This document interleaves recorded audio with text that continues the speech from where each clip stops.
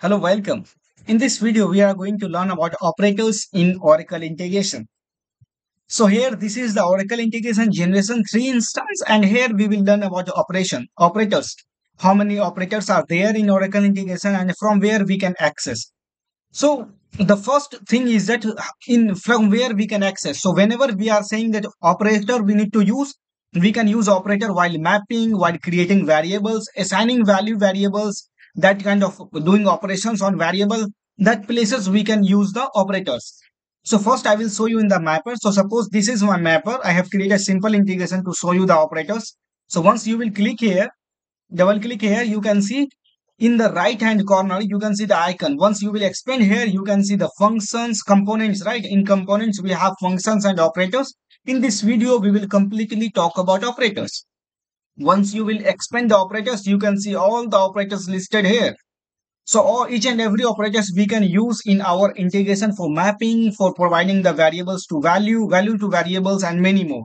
So here you can see, suppose this is our response and here we want to map the operators and all right so suppose we have to operate use operator something like that two we have two variables and we have to use that operator for that so we can simply use additional operator and operator the components compute node set operator division operator we have we have operator for equal for checking the the condition is true or not.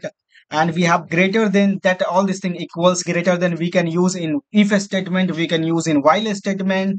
And here you can see that we have modulus operator to find the remainder multiplication not of not equals or subtract operation and the unary operation. So suppose if we want like 5 plus 4 we can directly use 5.6 even if we don't want we can remove and we can drag here subtract operator here.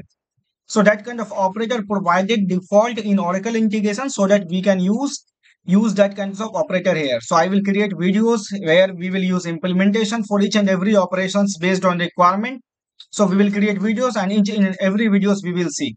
The first thing we see that from in mapping from where we can use that the operators Second, we, I will show you the in while creating the variables, assigning value to variable we can use. So suppose, let me create one variable.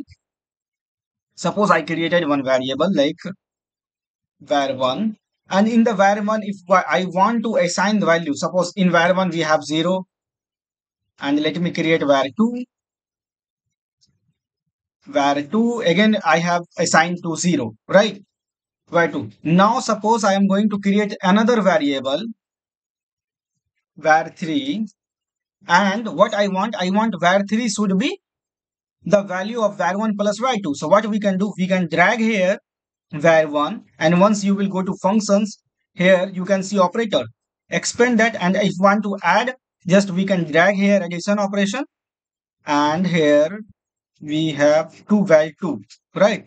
So you can see var1 plus var2. So once you will click here, you can see var1 plus var2. So instead of var plus operation we can have multiple operators. We can use that operators for our different different operations. If we want to find the remainder of var1 and var2 we can use that we have. We have the question modulus operator here we can use mode. So suppose we want more var2 mode we var1 so here if we will go we can add here. So it will return back the result of the remainder. So that kind of operation we can perform using provided in oracle integration so let's thank you so much for watching. Let's wait in next video. In next video, we will discuss about the functions, right? Predefined functions. Then after we will create separate videos where we'll, we'll discuss about that the XSLT functions. Thank you so much for watching.